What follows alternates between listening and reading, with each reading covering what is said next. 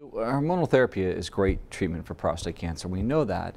But some of the problems is it can cause a lot of metabolic side effects and diabetes in particular. And so we had this idea that diabetes at the end of the day is a problem with blood sugar. So what happens if you just don't eat sugar? We know in non-cancer patients this is a good diet that causes men to lose weight, improves diabetes control, and actually in animals it actually slows tumor growth. So we wanted to see if we take men starting hormonal therapy and put half of them on this low carbohydrate diet and half keep eating what you've been eating, what will happen? So we conducted a prospective randomized controlled trial, six month intervention, extreme low carbohydrate, 20 grams of carbohydrates a day, 20 grams of total carbohydrates a day, not net carbohydrates, but total carbohydrates, versus eating what you want for six months and in overweight men starting hormonal therapy. And so you expect the men, you know, typical BMI was 29, they were in, their mid 60s, PSAs are around 20 in each group. Kind of a typical hodgepodge men starting hormonal therapy.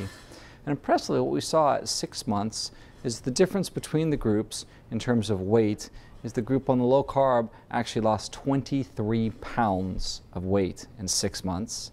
It completely blocked the osteoporosis, the bone loss that happened. We saw no change in the low carb versus about 2% bone loss in the standard arm.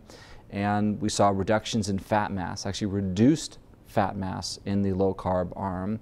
And for our primary outcome, we saw big differences in insulin. Actually, insulin resistance went up 36% in the control arm and actually went down 4% in the intervention arm. Didn't reach statistical significance with a p-value of 0.14, but it was statistically significant at the three-month time point. So in summary, we have an intervention, an extreme low carbohydrate diet that actually blocks a lot of the side effects of hormonal therapy. It blocked osteoporosis, it suggestively blocked insulin resistance, results in weight loss and fat loss. And so again, given that we have an intervention with these benefits, we know in animal models this diet slows tumor growth, so actually in the process of now conducting a second prospective randomized trial testing whether this diet can actually slow the growth of prostate cancer in men with recurrent disease.